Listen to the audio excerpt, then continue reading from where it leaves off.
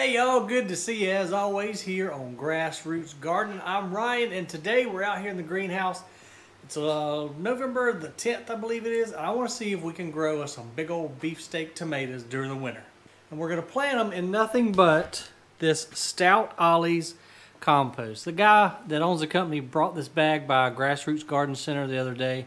Told me to try it. He said just plant directly into this, add nothing else, and we'll have beautiful tomatoes. So he also said that in their composting process, they're evidently near like a, a cotton gin.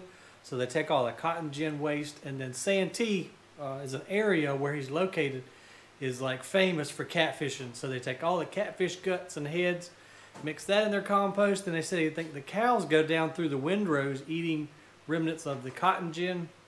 Of course, they're making waste they're pooping down along the aisles. They take that, incorporate that into there. So it sounds like just a really good, rich compost. It doesn't smell at all. You would think with all those ingredients, you'd have a little odor to it, but it's been composted properly. Looks like good stuff, so let's give it a try. And then somewhere over here, the ladies down at Grassroots grew us some beautiful beefsteak tomatoes. And man, these things are pretty. They're getting a little bit leggy because we've moved all of these plants into the greenhouse so they're kind of getting shaded out a little bit. So let's go plant them into the, uh, the Mater Maker formula and see what happens.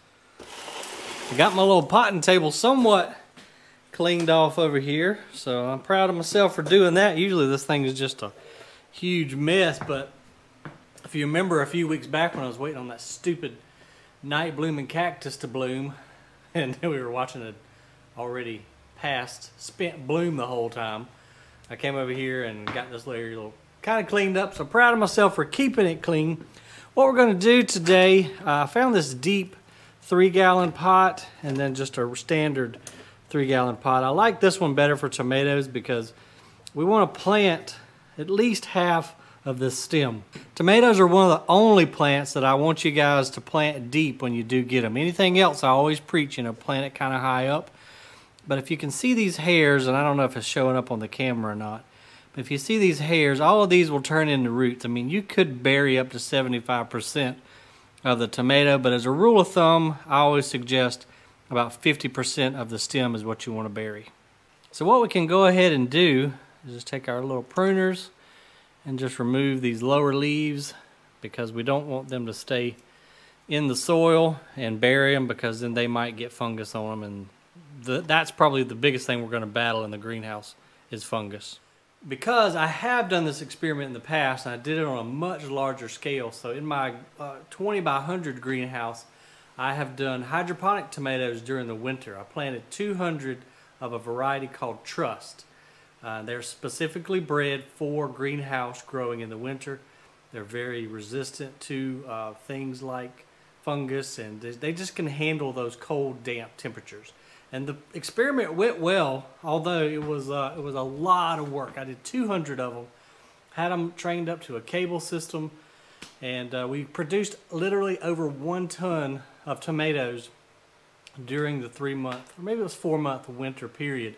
Sold them all to the fresh market there in Augusta, Georgia. They were delicious, but it was a lot of work because you got to think, you know, there's not a lot of light, so I had to hang lights in the greenhouse, and then two, there's no pollinators during the winter. So every day I had to walk through with this little vibrating wand, touch each flower set in order to pollinate them so we get good fruit production. Super cool project, but a lot of work. I don't think I ever want to do it again. It's one of the most fun things I've, I've done and still lost money at it. But it was a neat project, so I know it's possible to grow tomatoes in the winter. It's just a little bit more difficult due to the low light conditions, not a lot of air movement, movement and of course no pollinators. So fortunately here in this greenhouse, we do have this fan here that I found on Amazon. These are outdoor fans. They work great. I've got them all over the porch and all around the house. I'll put a link to this guy in the description below. But you see how wet and humid it can stay in here. And those are ideal conditions for fungus. Fungus loves that cool, humid, very little air movement, and it will eat a tomato plant in no time. So that being said, we'll get all the leaf litter out of the container. We're only going to do two of these. The others we're just going to we're just going to chunk them because well we don't have space to grow any more of them and we're just experimenting to see if we can grow us a nice beefsteak during winter. I'll just go ahead and dump our stout ollie mix into our deep three gallon. We'll go ahead and fill it almost all the way to the top. Leave about an inch or so so that water doesn't spill out. That should be good right there. And we'll go ahead and fill our standard three gallon pot about the same way, about the same amount full. And then we'll dump it all over my clean workbench. Come on out there.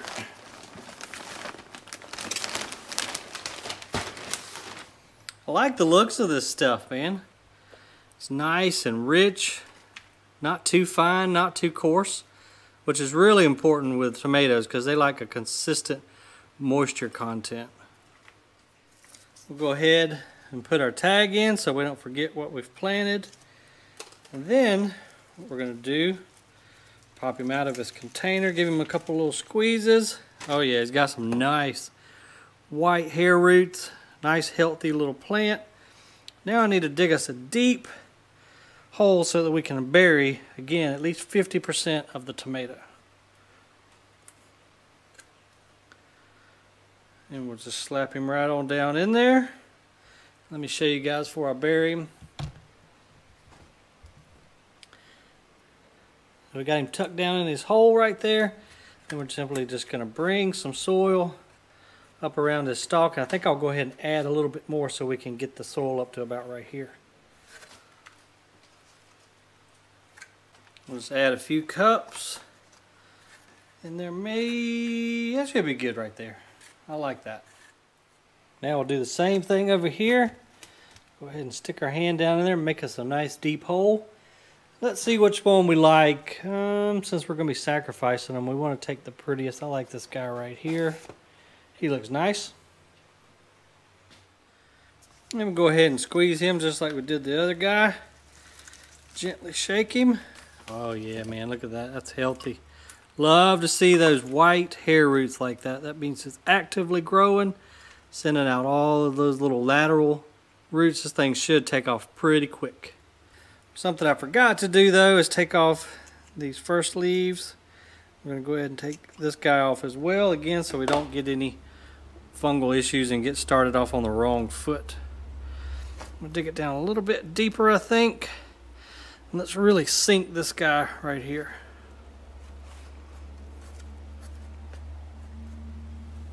Add a few more cups to fill him all the way up. Just like so. And he is done. We buried him a little bit more than 50%, but that's okay because we want a nice deep root system on these guys. And we're definitely going to have to be diligent on pruning them. We don't want a ginormous, really thick tomato bush, again, due to we want that airflow to be able to move through these plants. So they're going to be a little bit leggy because there's not as much light, especially this greenhouse because I have orchids and stuff in here, so it's kind of really shaded. So they're going to want to stretch, which is fine. Uh, you know, if we were out in the garden during summertime, I'd want them nice and bushy and dense or denser Still want airflow to go through them, but in here I just know that they're going to be leggy and I'm okay with that because that's going to give us the airflow that we need to get through them to help ward off any fungus. I think for right now, y'all, we'll probably leave them right here on the workbench because it's one of the brighter areas of the greenhouse right now.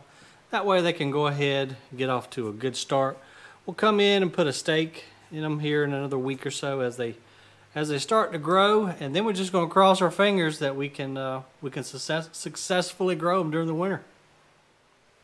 But I feel pretty confident. We've done it before. We can do it again. And with gardening, man, it's just is how you learn.